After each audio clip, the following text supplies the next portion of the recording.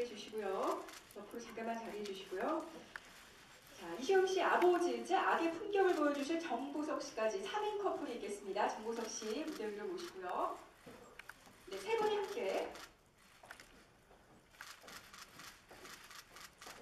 아버지니까 네 그렇죠 사이가 씨랑 좋으면 안 되니까 네 이렇게 네 왼쪽도 봐주시고 와주셔서 여러 각도로 촬영을 해야 될 것 같습니다.